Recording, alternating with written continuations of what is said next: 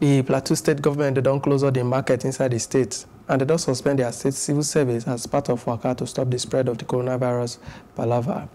The state governor Simon Lalong from one state broadcast inside Jos, the Plateau State capital, he said they don't suspend their weekly state executive council meeting them and the summer won't give people or join body them when we say they're not go follow the order of the state for social distancing to come body for bad worker or else they go face anything when we say he come out.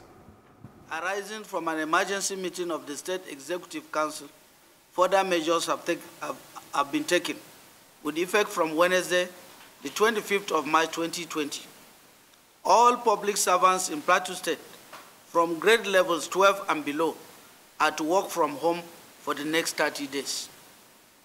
Only workers offering essential services such as security, health, media, street cleaners, and water supply and energy are exempted from this directive.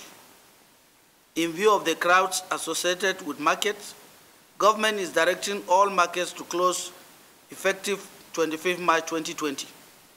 Only traders selling food items, pharmaceuticals, and cooking gas are to remain open. In addition, all street trading, street hawking, and begging are prohibited. The weekly Sunday markets at Ahmadu Bello Way, Bukuru and environs are hereby banned.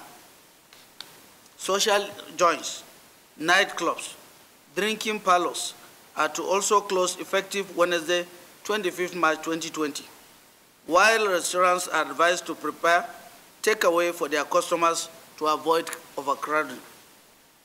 Motor parks are to, are to capture and keep data including contacts of all inbound and outbound passengers, as well as adhere strictly to social distancing and mass gathering prohibition order, as well as hygiene regulations.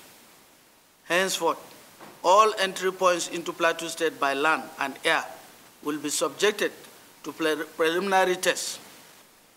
The weekly State Executive Council meetings are hereby suspended indefinitely.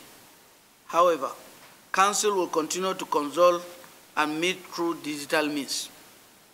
I have directed security agencies to begin enforcement and anyone found violating these orders should be arrested. Should the situation continue this way, we shall not hesitate to impose a complete lockdown in order to save the lives of our people.